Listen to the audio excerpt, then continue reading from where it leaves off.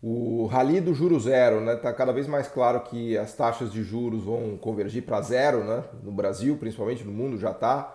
Ah, no Brasil, em termos reais, a gente pode ter juro zero já já, né? se a inflação ficar em uh, 2%, né? acumulado em alguns meses, com uma Selic vindo a 2%, o juro zero está praticamente garantido. Mas acho que a novidade no Brasil é que ah, o juro nominal pode cair ainda mais, né? Com esse câmbio, com o rally de ativos que a gente tem no mundo, né? Com a bolsa americana perto, já bem perto da máxima histórica, né? Com uma compra eh, frenética por ativos financeiros, a moeda brasileira está se beneficiando muito, vindo abaixo de R$ 5,10. Isso pode trazer, inclusive, uma deflação forte para a economia brasileira. Lembrando que junho, julho são meses de, uh, de sazonalidade muito boa, em que a inflação cai muito no Brasil. Muitas vezes a gente tem deflação em julho.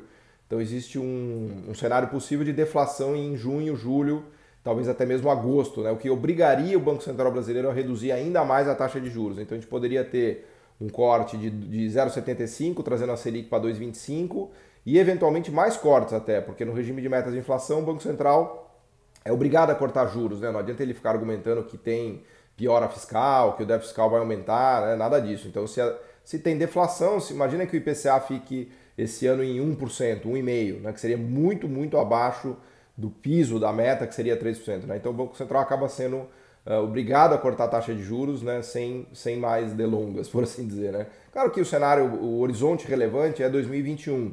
Né? E aí o Banco Central pode construir vários cenários para 2021 e alegar que ele precisa esperar um pouco para ter clareza do cenário e tal, mas não é difícil imaginar uma inflação IPCA o ano que vem de 2%, dado que a economia brasileira é terra arrasada. Né? do ponto de vista de atividade econômica. E lá fora, também a recuperação, os mercados estão com uma cabeça de que há uma recuperação ainda que tímida, né?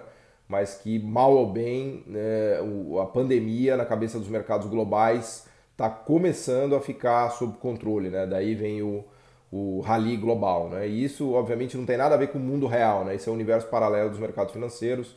O mundo real americano é um mundo de protestos, né? de acirramento da, do conflito racial, de, de desemprego enorme, né, dificuldade, muita dificuldade das, da, da população mais pobre, né, mesmo se aplica para o Brasil. Né, então, no mercado, no, no mundo paralelo do mercado financeiro está tudo bem, mas a economia real está literalmente devastada, né, com desemprego acelerando muito, a produção industrial no Brasil caiu 18% em abril, né, é, então há esse descolamento ainda maior, né? o descolamento entre ativos financeiros e economia real ficou ainda maior. E no momento o juro zero está empurrando o preço desses ativos para cima.